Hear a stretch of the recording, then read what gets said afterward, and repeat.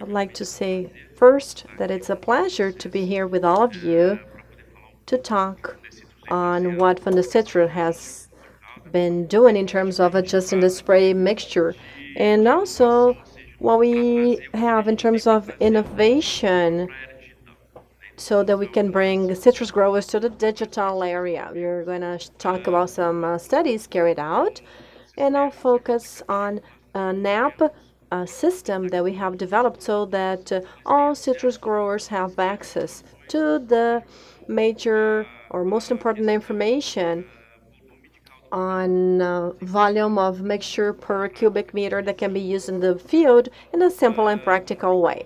So as I said, I'll be talking about adjusting the spray mixture volume for psyllid control, focusing on this app that we have developed. It's called the SPIF, S-P-I-F. So when we adjust the spray mixture volume, we have to take into consideration that citriculture has developed in terms of, or changed in terms of the volume of uh, product applied. From the 70s on, we had excessive, in the past, excessive of spray mixture volume, almost 20,000 here liter per hectare. That has been um, decreasing a long time. And then as of the year 2000, technology of application developed more. So we could use uh, proper volumes, reducing waste, contaminations in the environment, and so on and so forth. Not only in terms of a mixture volume, but also we have uh, developed the equipment used for uh, spraying in the 70s, for example, like it's the case here.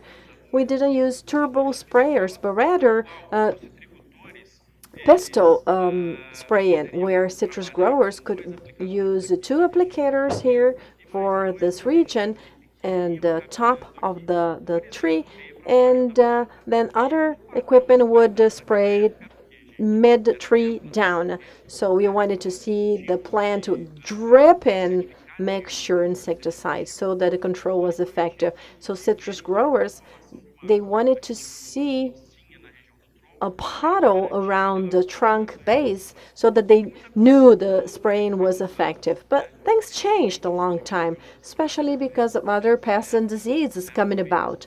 At that time, we had a few spray-ins just, you know, for one or other thing. Some people not even would not even spray for pests and uh, disease. But then on the in the 90s, we developed a little further advanced into using turbo sprayers in a way, the technology came, but information did not walk hand in hand with that. So we had sprayers then that were improper, not the way we wanted to work with.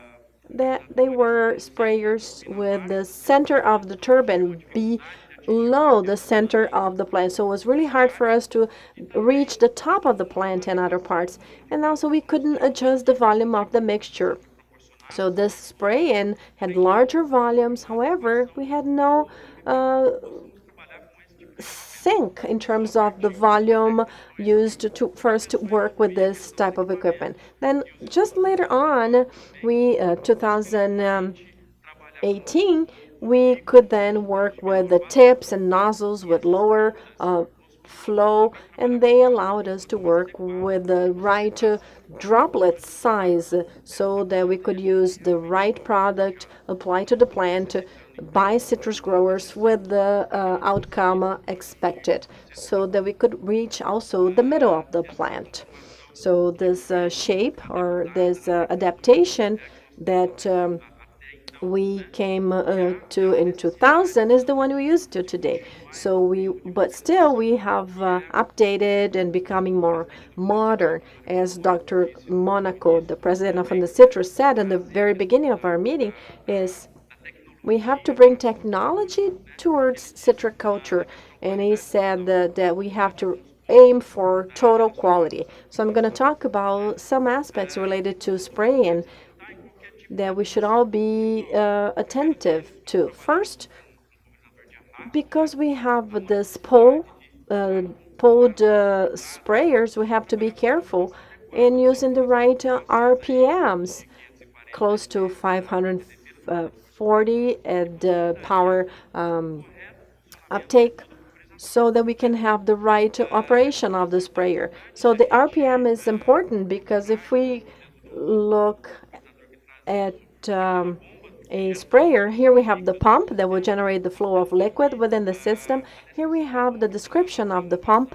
We have a flow of 150 liter per minute. However, for us, for that machine to really reach the total flow, we have to work at 540 RPM. That is directly linked to a series of other characteristics of the sprayer.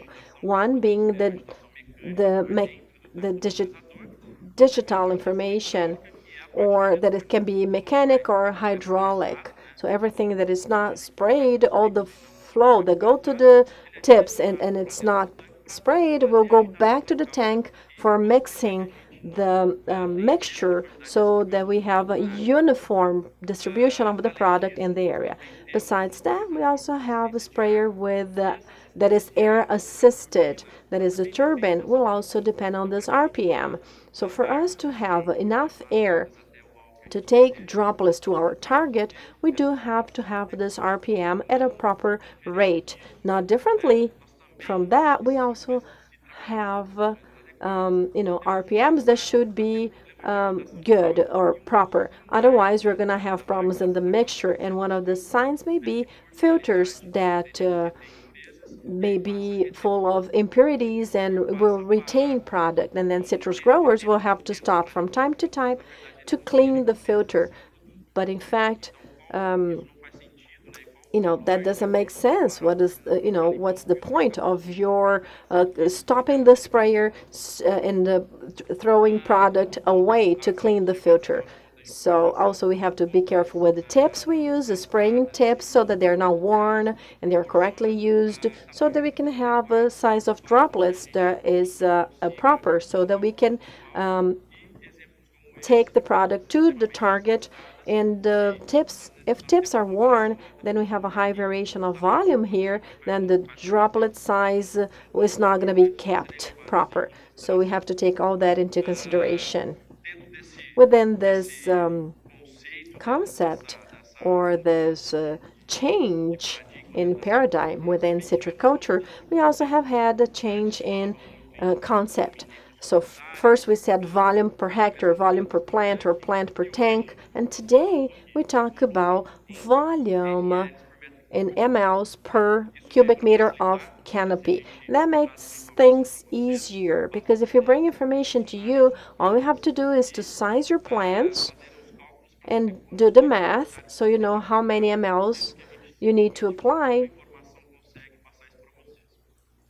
in a very simple way with one piece of information only. Marcelo mentioned in the previous presentation on he mentioned work in terms of uh, mixture volume. We can reduce that to 25 to 40 ml per cubic meter if you want to work with uh, shorter uh, intervals between applications. We don't have to use more than 40 ml per cubic meter. No need for that. And the spraying, especially focused to, on controlling psyllid, can have speeds of up to 7 km per hour, so we can have more operational output. And we can have we should use the fine droplets up to 150 micra and with a coverage of at least 30% in the external part of the plant. Studies have shown that it's possible for you to have up to 20% of operational output with a reduction of 50% uh, costs and savings in water and insecticide of 70% uh, for growers. So where can citrus growers have access to all that? Well, we have a, a handbook with all the information in terms of how to set uh, sprayers and work with technology and on farms. And also we have the SPIF, that is the integrated spraying system of uh, Fundecitrus, by Citrus. So it's easy access to information by citrus growers, and that is free of charge, available to all of you. There is a version that is online that you can access the page for SPIF and use it online, or you can download the system and use it, or on your cell phone. So it's an app or a system we have a version for a computer. You can download from from the Citrus uh, website in the technology uh, area or in the website for uh, uh, the SPIF, that is spiff.fundecitrus.com.br. The version for a mobile phone is uh, available for all operational systems. You can, you can go to any app store and uh, you just have to file your information in so you can just uh, uh, access the system afterwards. We have some functionalities in that the most important is to size the spray in. So you can calculate the mixture to be applied due to the size and volume of canopy of your plants. So you can have all the measurements to be, uh, you know, filled in as information. And here we have all products that are registered and they are part of the list that can be used. Then we have a calculation of the dose uh, per cubic meter and that you know here we can help calculate the dose and also we have the calibration of the sprayer and a report to be generated. When citrus grower comes to this phase they can in the future go back to the history and and um, review um, the data uh, that is logged. You can here check the volume of uh, the canopy the way it's been uh, it can be calculated. You can then size the sprayer to calibrate that and in case spraying has been carried out, they can um, fill out or fill in data, and then the system will show the volume, the mixture, dose, and how the spraying took place, and how this spraying just done, how it is within the standards that are recommended.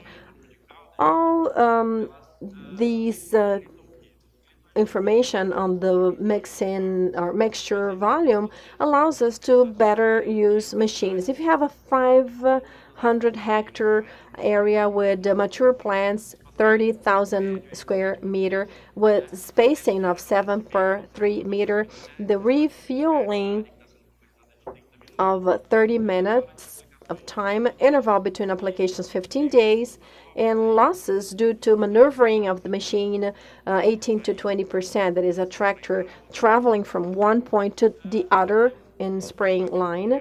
And the traveling time that is from the area of uh, service to the area to be sprayed is two hour a day.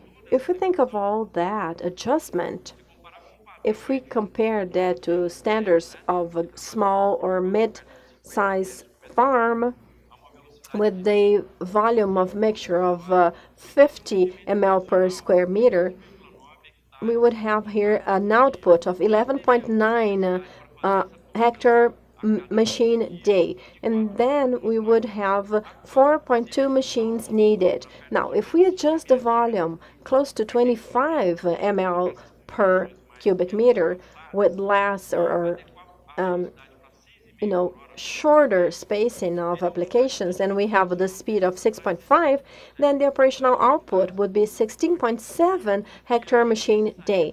And uh, for that, we would need only three machines. So that is operational a gain of 28%. If you think of larger farms, that is a lot. And for the small farm as well, because they'll be able to cover a, a, large area with a no, lower number of uh, machine not only the mixing volume is important, but also all the information generated by our research. But it's important also for citrus growers to pay attention to within the property to see how everything is being carried out. It's no use for you to have shorter times for spraying without our being able to um, check or to audit how everything is going on within the farm.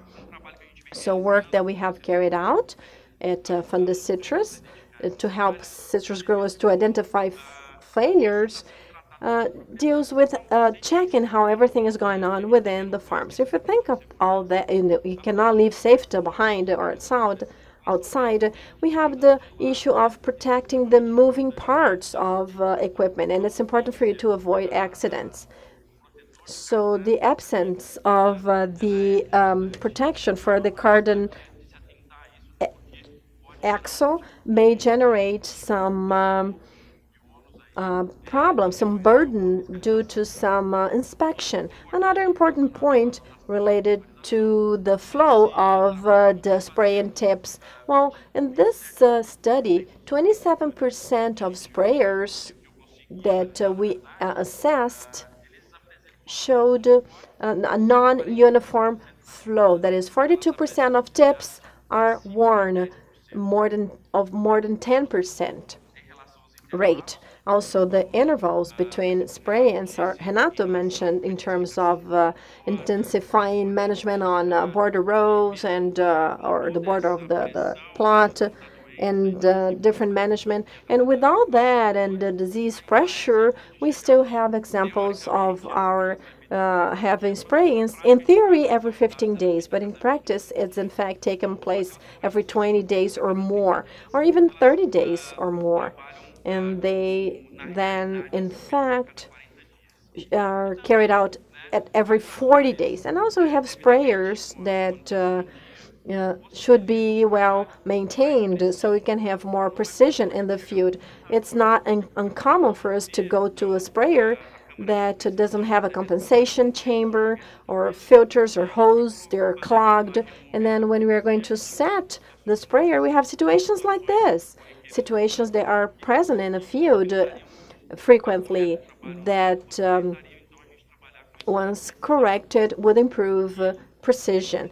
And then what is what does Fundecitrus have for you? Well, it's a new system, a new tool that would help all citrus growers in managing their farms, where citrus growers, just like uh, the alert system or the uh, SPIF here, we're going to have a, a, a brief uh, registering. They can uh, uh, file the polygon there and the plots, and uh, they can have all the intervals for spraying. And then they can uh, see by means of maps if the spraying times, uh, for let's say for HLB, it's being done within the right time in the um, terms, and then we have reports and maps for HLB within the farm so that we can have those reports generated so that citrus growers may deal with data in a more correct way. And also, we have integration with other systems like the plant health alert that's going to be uh, talked about in a, um, a presentation later on today. And also, we have external actions that is also part of the system that is made available by Fundecitrus to, to citrus growers for them to manage everything that is carried out on a farm and also the SPIF that is the system that I just talked about. This is what Fundecitrus has today in terms of uh, technological innovation. But back to the total quality concept, we uh, are always in the pursuit of innovation. And some citrus growers, they are using GPS telemetry embarked technology in tractors and sprayers so that we can have a better management of what's going on in the field and also, you know, modern equipment and technology will only come to meet a demand and uh, citrus as compared to other crops is relatively small. So we cannot invest in, you know, there's no interest in investing on machines and equipment. But citrus growers are uh, looking for innovation indeed, and they need uh, all that. So telemetry and other technologies will help citrus growers to have better and faster um, access to information to change and correct any problems taking place in the field. Thank you very much for your attention.